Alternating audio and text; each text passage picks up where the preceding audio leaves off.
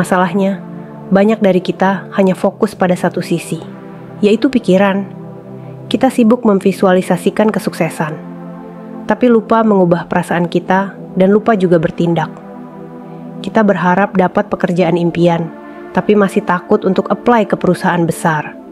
Kita ingin punya bisnis sukses, tapi nggak pernah mulai belajar tentang bisnis itu sendiri.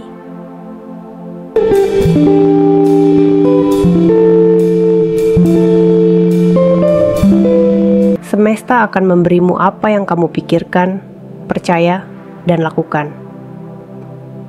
Rhonda Byrne Pernah dengar kalimat itu? Kalau kamu pernah membaca atau mendengar tentang Law of Attraction, pasti nggak asing lagi kan? Kita sering banget diajari untuk berpikir positif, memvisualisasikan keinginan, dan percaya bahwa semesta akan mengirimkannya ke kita. Tapi, jujur deh, apakah semua itu benar-benar selalu berhasil? Pasti ada dari kamu yang sudah mencoba berkali-kali, tapi kok rasanya nggak ada yang berubah, bahkan bikin frustrasi. Dulu aku juga pernah ada di posisi itu. Rajin banget memvisualisasikan kesuksesan. Sampai setiap pagi meditasi dan ngomong sendiri di depan cermin. Aku sukses, aku kaya, aku bisa. Tapi nyatanya, gaji masih segitu-gitu aja, rekening masih kembang kempis, dan rasanya hidup nggak ada kemajuan. Jadi, apa yang salah? Apakah law of attraction itu cuma khayalan? Atau ada sesuatu yang kita lewatkan? Mari kita bongkar sama-sama. Karena, percayalah, jawaban kenapa law of attraction nggak selalu berhasil mungkin akan bikin kamu kaget. Dan, siapa tahu, membuka mata. Pertama, mari kita pahami dulu esensinya. Law of Attraction adalah prinsip yang bilang bahwa energi positif akan menarik hal-hal positif ke dalam hidupmu. Begitu juga sebaliknya. Kalau pikiranmu dipenuhi hal-hal negatif, maka yang datang pun negatif. Sound simple right, tapi inilah yang sering kita lupa. Law of Attraction itu lebih dari sekadar berharap dan membayangkan. Ini tentang cara kita menghubungkan pikiran, perasaan, dan tindakan. Masalahnya, banyak dari kita hanya fokus pada satu sisi, yaitu pikiran. Kita sibuk memvisualisasikan kesuksesan, tapi lupa mengubah perasaan kita dan lupa juga bertindak. Kita berharap dapat pekerjaan impian, tapi masih takut untuk apply ke perusahaan besar. Kita ingin punya bisnis sukses, tapi nggak pernah mulai belajar tentang bisnis itu sendiri. Aku pernah ketemu seseorang Sebut saja namanya Dika. Dika ini orangnya optimis banget. Setiap hari dia bilang ke semua orang kalau dia bakal jadi pengusaha sukses. Dia tempel foto-foto rumah mewah, mobil sport di kamarnya. Dan tiap malam dia berdoa minta hidup yang lebih baik. Tapi sayangnya, Dika nggak pernah benar-benar mulai usaha apa-apa. Dia cuma menunggu, menunggu semesta mengabulkan mimpinya tanpa mau mengotori tangan. Dan itulah jebakan pertama. Kamu menunggu, bukannya bertindak. Law of attraction mengajarkan kita untuk percaya dan menarik hal-hal baik. Tapi itu nggak berarti kita bisa santai-santai aja. Percaya tanpa tindakan adalah kosong. Ini ibarat kamu duduk di depan kemudi mobil, membayangkan sampai ke tujuan, tapi nggak pernah bener-bener nyalakan mesin dan mulai jalan. Aku paham banget kok. Kadang kita terlalu terfokus pada harapan, tanpa menyadari kalau perubahan besar dimulai dari langkah kecil yang kita ambil. Tindakan-tindakan kecil ini sering kali terasa sepele dan nggak langsung terlihat hasilnya. Tapi percayalah, inilah yang membedakan mimpi yang jadi kenyataan dan yang tetap jadi angan-angan. Kedua, mindset dan keyakinan batinmu yang mungkin masih salah arah kita bisa aja ngomong ke diri sendiri. Aku kaya, aku sukses, tapi di dalam hati ada suara kecil yang bilang, Gak mungkin lah, kamu gak sebaik itu. Suara kecil itu yang sering menghancurkan segalanya. Self-doubt ini musuh terbesar yang sering kali kita gak sadari. Karena meskipun kita bilang sukses, tapi kalau di dalam hati kamu merasa gak layak, semesta akan lebih mendengarkan perasaan ketidakyakinanmu daripada afirmasi kosongmu.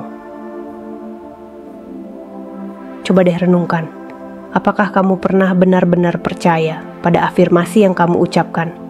Atau sebenarnya kamu cuma ikut-ikutan aja karena melihat orang lain sukses? Di sinilah kunci yang sering hilang. Alignment antara pikiran, perasaan, dan tindakanmu. Ketiganya harus sejalan. Kamu harus benar-benar percaya. Bukan cuma di mulut, tapi juga di hati dan langkahmu. Masalah ketiga, banyak dari kita yang nggak sadar kalau kita menarik apa yang kita fokuskan, bukan apa yang kita inginkan. Ini kelihatannya sama, tapi sebenarnya beda. Misalnya, kamu bilang, aku nggak mau miskin. Fokusnya tetap ada pada kemiskinan. Pikiran kamu malah mengunci pada rasa takut miskin, bukan pada usaha untuk kaya. Semesta nggak peduli dengan kata nggak mau, dia hanya menangkap energinya saja. Jadi, ketika kamu memfokuskan diri pada apa yang enggak kamu mau, justru itulah yang akan mendekat. Aku pernah ngobrol dengan seorang teman yang frustasi karena merasa nggak pernah berhasil mencapai target finansialnya.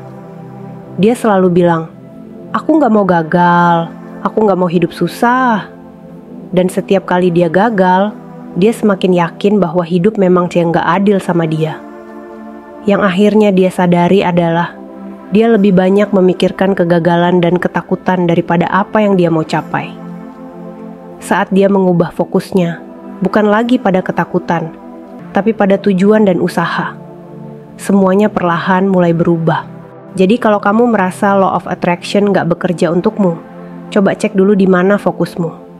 Apakah kamu memfokuskan diri pada hal-hal yang kamu inginkan, atau justru terus terjebak dalam ketakutan dan kekhawatiran?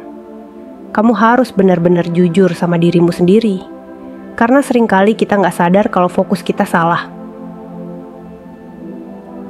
Terakhir, dan ini yang paling penting, adalah tentang ketidaksabaran. Kita hidup di era yang serba instan. Pengen makan tinggal pesan, mau nonton film tinggal klik, semua serba cepat tapi sayangnya, kesuksesan nggak bisa secepat itu. Law of attraction bukan berarti kamu langsung kaya dalam semalam.